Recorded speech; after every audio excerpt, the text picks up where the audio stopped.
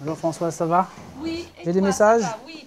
Le métier de chargé d'affaires dans le bâtiment consiste par le biais d'architectes ou de clients potentiels avec des souhaits qui sont formulés sur, sur des plans, de réaliser, de concrétiser tout à fait le- leurs souhaits en fait, de mettre en œuvre tous les ouvrages euh, dont ils ont besoin et de suivre euh, l'évolution en fait du chantier depuis la fabrication jusqu'à la réception finale. Donc là, je vais vérifier un chantier qui est en train de se finir. J'ai fait un brevet de technicien en ouvrage métallique parce que je suis plus spécialisé métallerie. Et ensuite, j'ai fait un BTS. En attendant des réponses dans diverses sociétés, j'ai fait un petit peu d'intérim. J'ai commencé en tant qu'aide conducteur travaux, donc j'avais des petits chantiers ou éventuellement des fins de chantier. Et puis maintenant, bah, j'ai une évolution assez, sympathique puisque maintenant je suis conducteur travaux, je dirais attitré, avec mes chantiers euh, propres.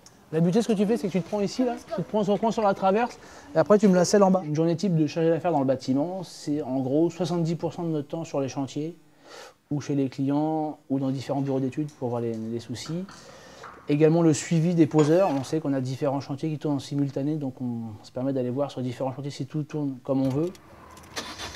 Nous, on est beaucoup sur la route, donc on est assujetti aux embouteillages, à un peu toute la circulation. Hormis le côté technicien de- du métier, il faut aimer le, contact avec les gens. Il faut bah, aimer être sur les chantiers et puis être un petit peu débrouillard, je dirais, trouver des petites solutions euh, sur place. Et également, il faut être sûr de soi, il faut pouvoir s'affirmer dans les rendez-vous de chantier et savoir de quoi on parle. A priori, tout est bon. Ça fonctionne. Mais également, il ne faut pas négliger la, la partie administrative de notre travail. C'est-à-dire que le- le- soit le soir, quand on rentre en fin d'après-midi, on a généralement quelques factures à gérer, des, euh, des demandes, de, des demandes de devis par d'autres clients. Tiens, Et- monsieur.